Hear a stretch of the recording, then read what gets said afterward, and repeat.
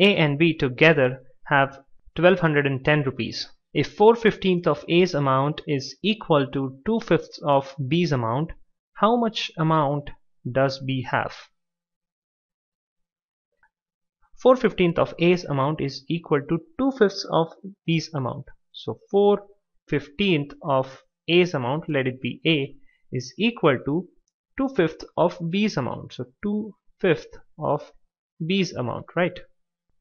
Let us calculate the ratio of A and B here. So we have A by B is equals to 2 by 5 times 15 by 4. So 2 times 2 is 4, 5 times 3 is 15. So 3 by 2. Therefore, the ratio of A and B is A is to B is equal to 3 is to 2.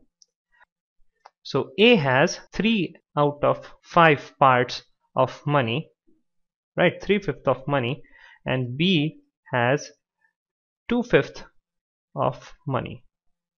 Why?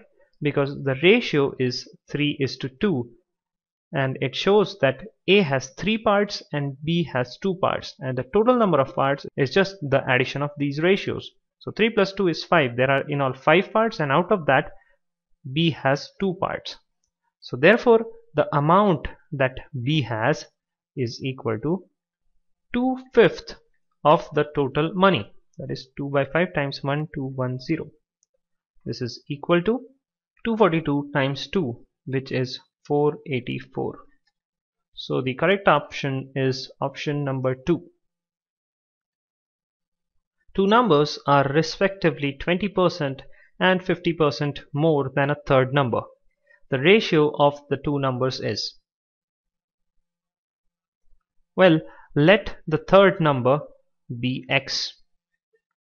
Now the two numbers are 20% and 50% more than the third number and we want the ratio of the two numbers.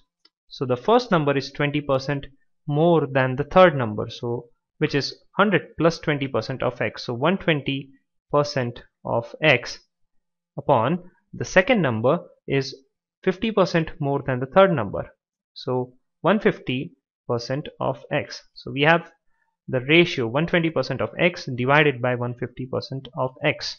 So this is equal to 120 upon 100x divided by 150 upon 100x 100 and x get cancelled out.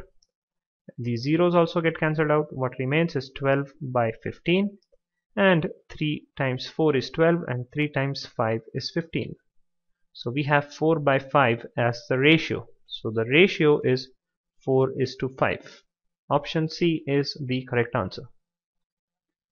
The ratio of number of boys and girls in a college is 7 is to 8 if the percentage increase in the number of boys and girls be 20% and 10% respectively, what will be the new ratio? Okay, let us assume that the number of boys is B and the number of girls is G. So we have been given the ratio of boys and girls. So B by G is 7 by 8. Or I can say that because the ratio is 7 is to 8, I can assume that B that is the number of boys is 7x and the number of girls is 8x right now percentage increase in the number of boys and girls is 20% and 10% respectively. So the new number of boys is b1 which is equals to 20% increase in the previous number. So 120% of the previous number which is 7x now the new number of girls is G1 which is equals to 10% increase in the previous number. So 110% of the previous number which is 8x right?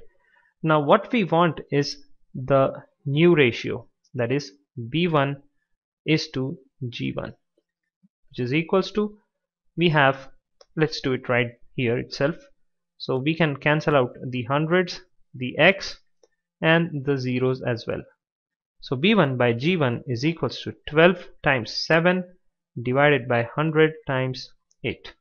So 4 3s are 12 and 4 2s are 8. So 3 7s are 21 divided by 11 2s are 22. So the new ratio is 21 is to 22 so option C is the correct answer. If 40% of a number is equal to two-thirds of another number what is the ratio of first number to the second number? So let these numbers be a and b so we want the ratio of first number to the second number. So we want a is to b. Right. Now a is to b can be written as a by b. And that's what we have to find out. And we can find that out from the information that is given to us. 40% of the first number is equal to two-thirds of the another number. So I have 40% of the first number 40 upon 100 times the first number is a is equal to the two-thirds of another number. So two-thirds of another number. Okay. So these zeros get cancelled out. What I have is a.